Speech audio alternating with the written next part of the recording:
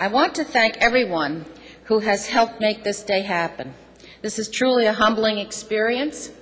I want to thank the voters of Sussex, Warren, and Morris counties for putting their trust in me in two elections and a district-wide convention this year. My office mate, Senator Steve Oroho, and my running mate, Assemblyman Parker Space, I want to thank the Littell family for all their support. I have big shoes to fill with replacing my dear friend Alison Littell McHose.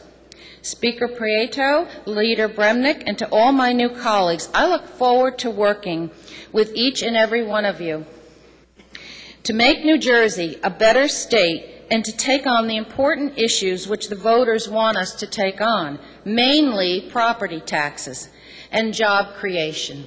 Thank you again. Thank you. Thank you.